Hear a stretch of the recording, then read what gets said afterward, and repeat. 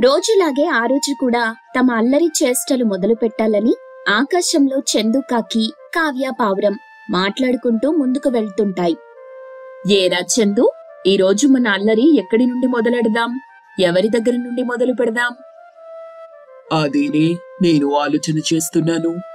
మన గురించి మనం చేసే అల్లరి గురించి తెలిసి మనకు కనిపించకుండా మనం వాటి కంటపడకుండా అన్నీ చాలా జాగ్రత్త పడుతున్నాయే.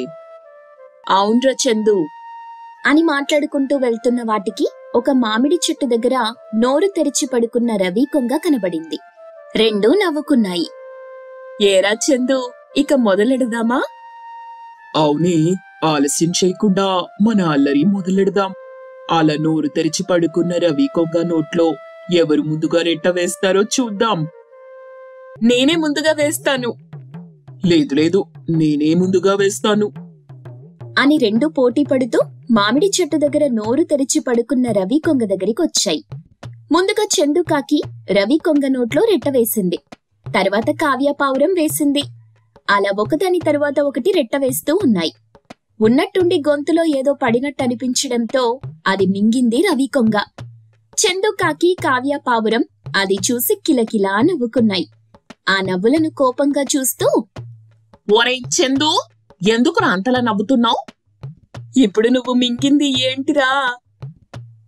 ఐస్ క్రీమ్ అనుకుంటానే. అది ఐస్ క్రీమ్ కాదురా. మేము వేసిన రెట్టలు. అని చెప్పగానే రవి కొంగ కోపంగా వాటిని తిట్టుకుంటూ ఉంటుంది. చందుకాకి కావ్య పావురం కిలకిలా నవ్వుకుంటూ అక్కడి నుండి ఎగిరిపోతుంటాయి. అలా కొంచెం దూరం వెళ్ళి ఒక చెట్టు మీద వాలతాయి. నవ్వి నవ్వి కడుపు నొస్తుందిరా. ఇక నవ్వటం నా వల్ల కాదు. అవునే ఇంచుమించు నా పరిస్థితి కూడా అలాగే ఉందనుకో. కాసేపు ఈ చెట్టు మీద రెస్ట్ తీసుకుందాం. అలాగేరా కాసేపు రెస్ట్ ఇద్దాం. అని చెప్పి రెండు ఏమీ మాట్లాడకుండా కాసేపు సైలెంట్గా ఉంటాయి. అప్పుడే రాణి పిచ్చుక నీళ్ళతో నిండుగా ఉన్న రెండు కుండల్ని ఎత్తుకుని ముందుకు వెళ్తూ దిక్కులు చూస్తూ ఈ మాయదారి అల్లరి పక్షులు ఎక్కడున్నాయో ఏంటో. వాటి కంట పడకుండా జాగ్రత్తగా తీసుకెళ్ళి ఎవరి నీళ్ళని వాళ్ళకి ఇవ్వాలి లేదంటే డబ్బులివ్వరు. అప్పుడు నాకు బ్రతకటం కష్టమవుతుంది. అని అనుకుంటూ వెళ్తుండగా ఒక చెట్టు మీద వాలిన చందుకాకి కావ్య పావురం నీళ్ళు మోసుకెళ్తున్న రాణి పిచ్చుకని చూస్తాయి. ఏమే? అదిగో రాణి పిచ్చుక నీళ్ళ గుండలు నెత్తిన పెట్టుకొని అలా పోతుంది. అవునరా. రాణి పిచ్చుక అలా కుండ మీద కుండ పెట్టుకుని వెళ్తుంటే నాకు విజయశాంతి సినిమా ఒసై రాములమ్మ గుర్తొస్తుందిరా. అవునే అందులో విజయ్ శాంతి కుండ మీద కుండ పెట్టుకుంటుంది. అప్పుడేదో పాట కూడా వస్తుంది. నాకు ఆ పాట ఇప్పుడు గుర్తుకు రావటం లేదు. నాకు పాట గుర్తుకు రావటం లేదు కానీ చెయ్యాల్సిన అల్లరి పని గుర్తుకొస్తుంది. అని చెప్పి చెట్టు మీద నుండి కిందకొచ్చి కొన్ని రాళ్ళని తీసుకొని చెట్టు పైకి వెళ్తుంది. కొమ్మ మీద ఉన్న చందు కాకి పక్కన వాలుతుంది. ఇక్కడి నుండి ఆ కుండల్ని ఎవరు కొడతారో చూద్దాం. ఆ చూద్దాం. అని చందుకాకి అనగానే కావ్య పావురం గట్టిగా రాయిని విసిరింది. అంతే ఆ రాయి వెళ్ళి పైనున్న కుండకి తగిలింది. ఇంకేముంది? ఆ కుండలో ఉన్న నీళ్ళు కారుతూ ఉంటాయి. అది చూసిన రాణి పిచ్చుక కోపంగా మీరెక్కడ దాపురించారా నా ప్రాణానికి? మీ అమ్మ కడుపులు మాడా మీరల్లరి చేయడానికి నేనే దొరికానా? అని అంటుండగానే చందుకాకి ఒక రాయి విసిరింది. ఆ రాయి వెళ్ళి మరొక కుండకి తగిలింది. అంతే ఆ కుండ పగిలి నీళ్ళన్నీ రాణి పిచ్చుక మీద పడతాయి. ఆ నీళ్ళకు రాణి పిచ్చుక పూర్తిగా తడిసిపోతుంది. అది చూసి చందుకాకి కావ్య పావురం కిలకిలా నవ్వుకుంటాయి. కోపంగా మిమ్మల్ని అని వాటి వైపు దూసుకొస్తుండగా చందుకాకి కావ్య పావురం అది చూసి నవ్వుకుంటూ ఆ కొమ్మ మీద నుండి ఎగిరిపోతాయి. రాణి పిచ్చుక ఎంత వేగంగా వెళ్తున్నా అవి దొరకకుండా మరింత వేగంగా నవ్వుకుంటూ దాదా రాణి పిచ్చుక మమ్మల్ని పట్టుకో. నీ కోపం చల్లారిపోయేలా కొట్టుకో. అవును రాణి మమ్మల్ని పట్టుకో. మహా బాగా కొట్టుకో. మేమిద్దరం నీకు మంచి ఆఫర్ ఇచ్చాం. పట్టుకో కొట్టుకో. ఇంక నీ ఇష్టం. ఆఫర్ ఎదిరింది కదా? అంటూ ముందుకు వెళ్తుంటాయి. రాణి పిచ్చుకకి కొంత దూరం వెళ్ళగానే ఆయాసం వచ్చినట్టు అవుతుంది. దాంతో ఒక చెట్టు కొమ్మ మీద వాలింది. వీటి అల్లరి చేష్టలు రోజు రోజుకు పెరిగిపోతున్నాయి. ఇక లాభం లేదు. వాళ్ళ మమ్మీకి చెప్తాను. అనుకుని తన ఇంటికొస్తుంది. ఇంట్లో మరొక రెండు కుండలు తీసుకొని నెత్తిన పెట్టుకుని నీళ్ళ కోసం వెళ్తుంది. అలా రోజులు గడుస్తుంటాయి. ఓ రోజున రాణి పిచ్చుక రెండు కుండల నిండా నీళ్ళు తీసుకుని వెళ్తుండగా ఏమాత్రం అనుమానం రాకుండా అల్లరి పక్షులు రాళ్ళని ఒక్కొక్కటిగా పైన కుండలో వేస్తుంటాయి. దాంతో కుండలోని నీళ్ళు కారుతూ రాణి పిచ్చుక పూర్తిగా తడిసిపోతుంది. ఇదేంటి? నేనిలా తడిచిపోయాను? కొంపతీసి ఏదో ఒక కుండ కారుతున్నట్టుగా ఉంది అనుకుంటూ కింద వాలింది. నెమ్మదిగా పైన ఉన్న కుండని తీసి చూసింది. ఆ కుండ నిండా రాళ్ళున్నాయి అప్పుడు రాణి పిచ్చుకకి అర్థమైంది. ఈ పని ఖచ్చితంగా అల్లరి పక్షులు చేసిన పని. వాటికి తగిన బుద్ధి చెప్పాలి. కానీ ఎలాగన్నదే ఆలోచించాలి. అని అనుకుంటూ ఉండగా ఒక చెట్టు మీద వాలి కిలకిలా నవ్వుతున్న చందుకాకి కావ్య పావురం కనిపిస్తాయి. తనలో తాను ఇంక మీ అల్లరిని భరించలేను. నా కోపిక లేదు. ఎలా మీకు బుద్ధి చెప్తానో చూడండి. ఎలా మీతో నీళ్ళు తెప్పిస్తానో చూడండి. అనుకుని తన ఇంటికి వెళ్తుంది. తలుపు వేసుకొని తన ఇంట్లో ఉంటుంది. రెండు మూడు రోజులు గడిచాయి.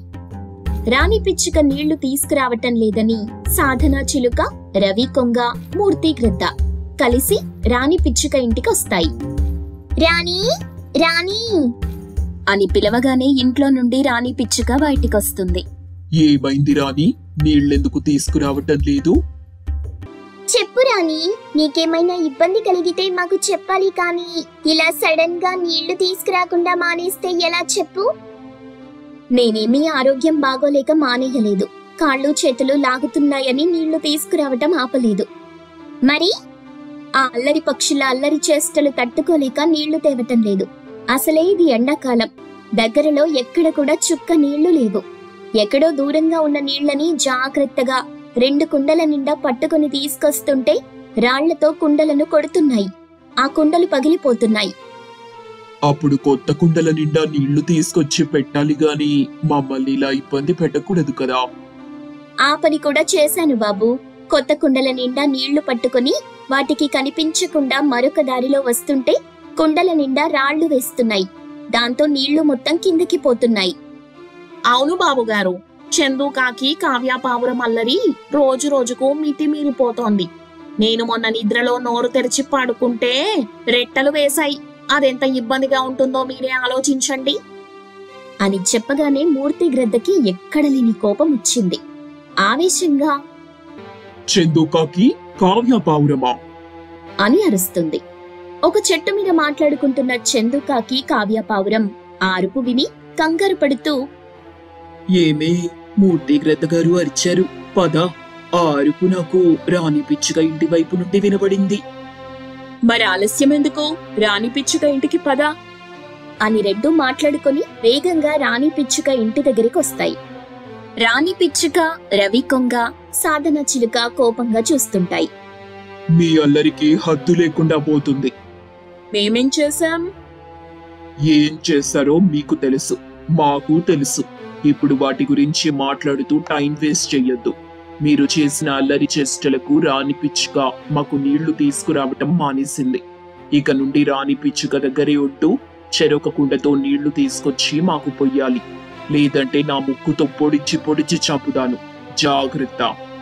అని హెచ్చరించి వెళ్ళిపోయింది చందుకాకి కావ్య పావురం బిక్కుబిక్కుమంటూ చూస్తుండగా రాణి పిచ్చుక సాధన చిలుక రవి కొంగ పకపక నవ్వుతుంటాయి.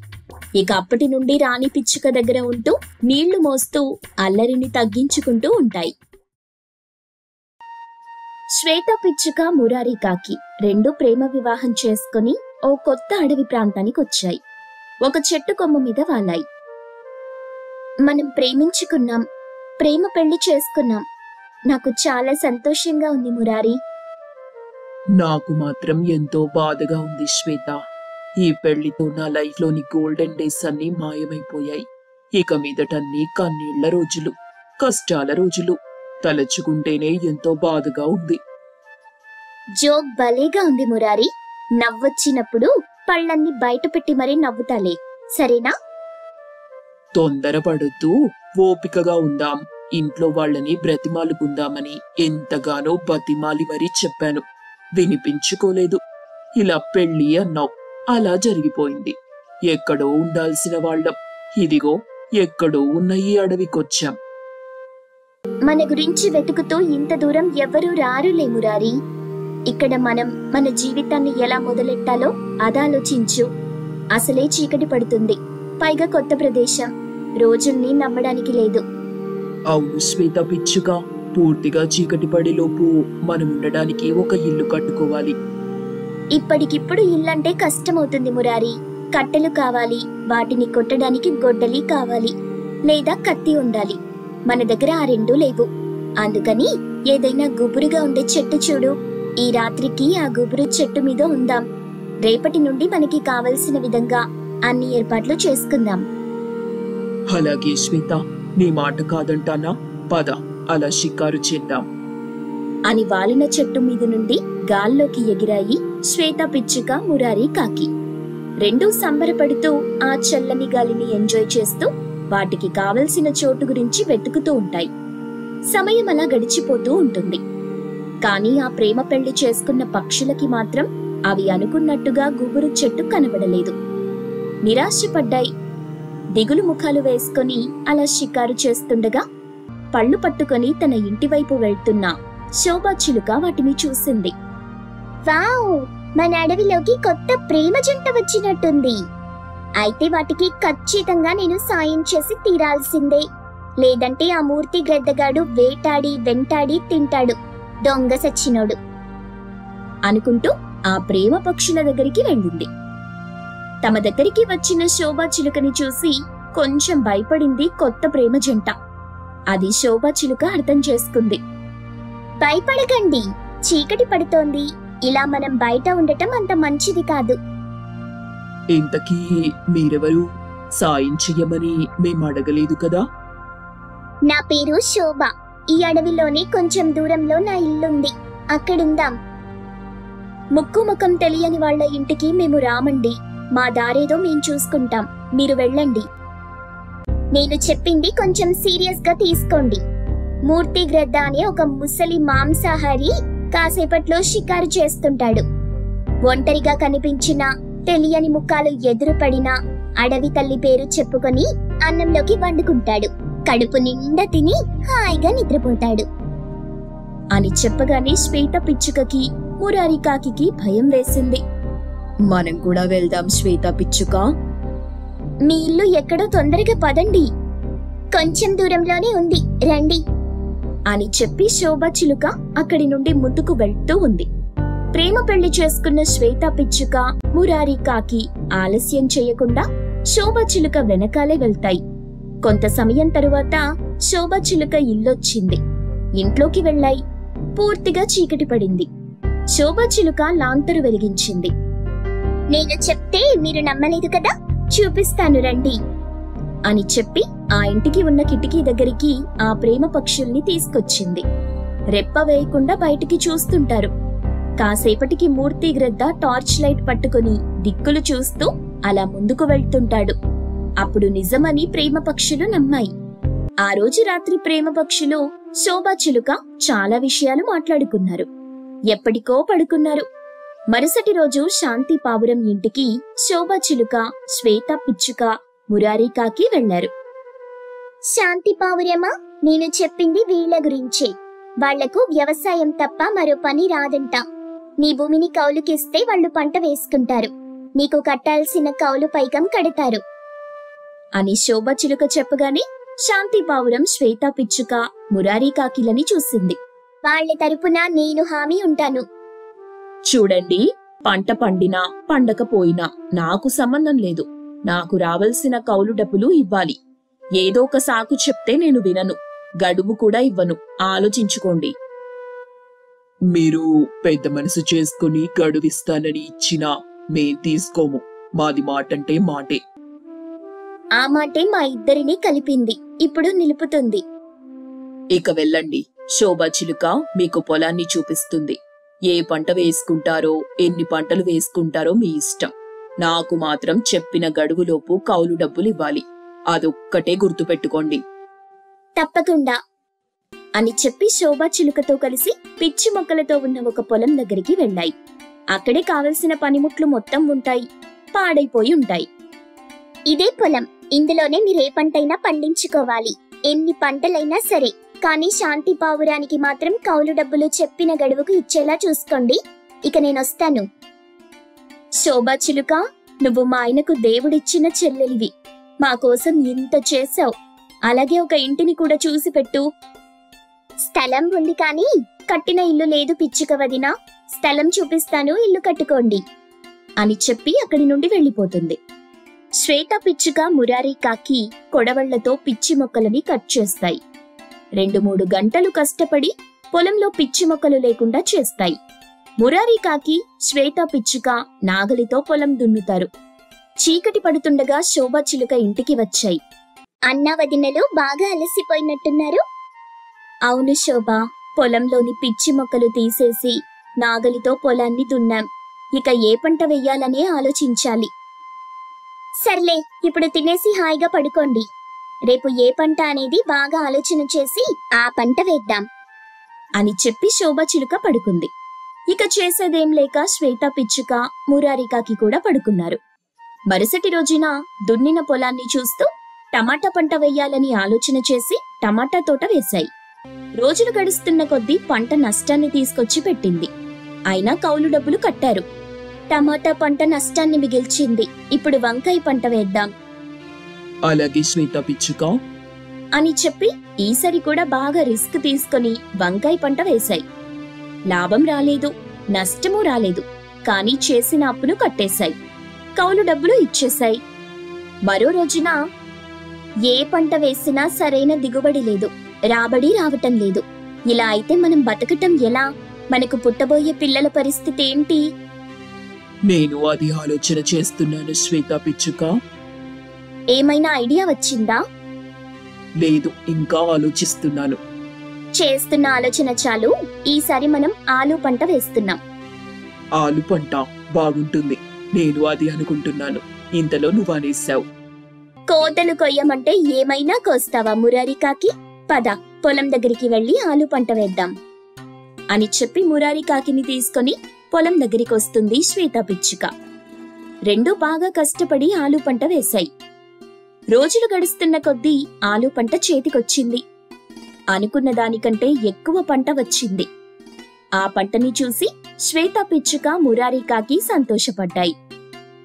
ఆలు మనకు అదృష్టాన్ని తీసుకొచ్చి పెట్టింది మురారి. అవును శ్వేత ఈ అదృష్టం మామూలు అదృష్టం కాదు. మనం అడవికి వచ్చినప్పటి నుండి మనకు శోభ చిలుక ఎంతో సాయం చేసింది. ఆ పైన నిన్ను అన్నయ్య అని నన్ను వదిన అంటూ ఎంతో ప్రేమగా ఉంటుంది. అవును శ్వేత పిచ్చుక అందుకే మనం శోభ చిలుకకు సరైన జోడిని వెతికి తీసుకురావాలి. తప్పకుండా శ్వేత పిచ్చుక. అని రెండు మాట్లాడుకుని ఒక రోజున శోభ చిలుకకు మంచి సంబంధమైన మురళీ చిలుకనిచ్చి పెళ్ళి చేశాయి.